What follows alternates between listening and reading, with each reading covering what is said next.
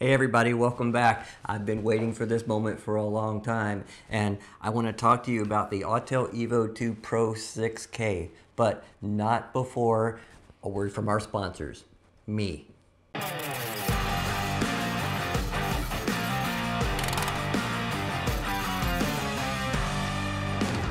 A little bit of non-monetized humor, I thought you'd enjoy that.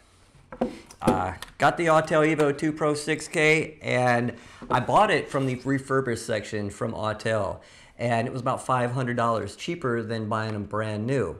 So I took a chance because it says that it has to operate as new. Might have to look past some minor blemishes or scratches, but I was willing to do so to save $500. But I got it and there was nothing wrong with it. So I flew it it's probably something that Autel wouldn't have noticed anyway if somebody just returned it. They put it on their refurbished shelf and they sent it to me and it did have a defect, but it would have helped that the customer had told them what the thing was doing so they could actually fix it. So they probably never even got a chance to fix it.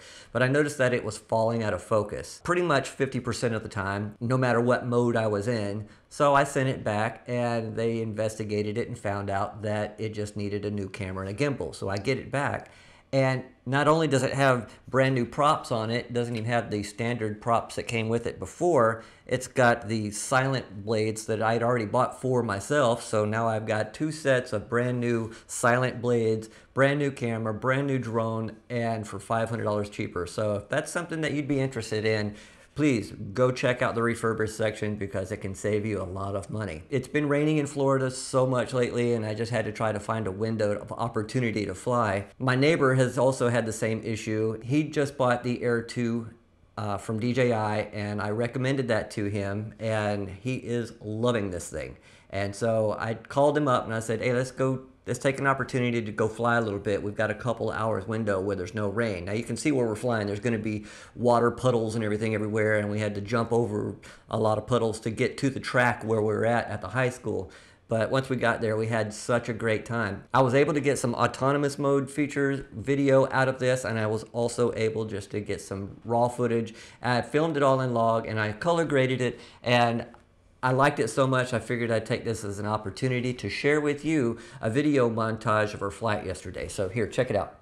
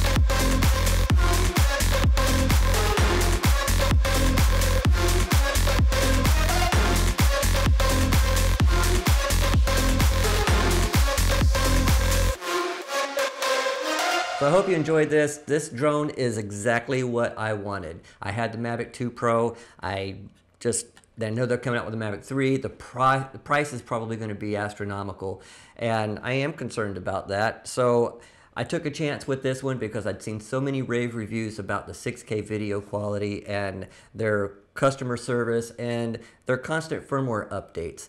And yes, it looks like a giant school bus when it's flying, and I love it. I mean, it's it's a really cool company, and the customer service is great. So I can appreciate a lot of the flight characteristics of this, and it's constantly being updated and, and improved. So I love this drone. It's probably my favorite drone of all time now, and it's going to be with the family for a long time. So it helps with my fleet because I also have the Air 2S from DJI and also have the Mini 2.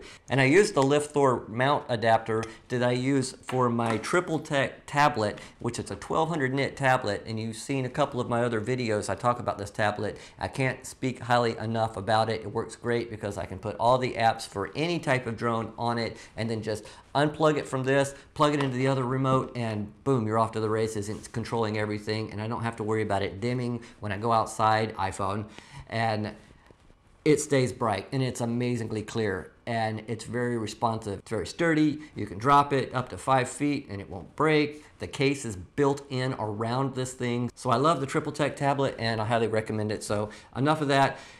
If you haven't already, please make sure you subscribe and hit that like button, notification bell, most importantly, because I'm going to be doing a lot of reviews on this. And every time I go out and find something new, I'm going to share that with you.